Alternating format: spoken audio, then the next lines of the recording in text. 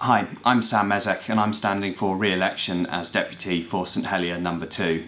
I've been a States member now since March when I was elected in a by-election and at 23 years old I'm currently the youngest member of the States of Jersey. I believe I've made my mark by asking more questions and lodging more propositions than many States members have in their whole three years.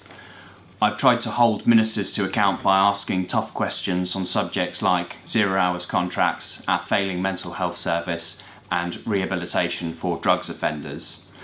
In my time in the States, I've learnt firsthand how fundamentally important it is that St Helier has States members who will stand up for the interests of ordinary islanders to protect public surfaces, improve social policy and oppose overdevelopment in some of the already densely populated parts of town. But the most important thing I've learned is that you cannot achieve anything by yourself in politics. You have to be willing to work together as a team. And that's why this time round I'm standing as a candidate for Jersey's only political party, Reform Jersey.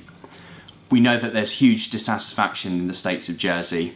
Most people believe politicians are completely out of touch, and we now know that our public finances are not in the shape that the Council of Ministers would like you to believe.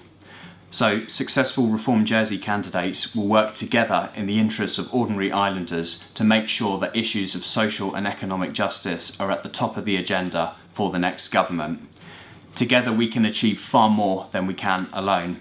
So I hope on the 15th of October you'll consider voting for your Reform Jersey candidates. Thank you for listening.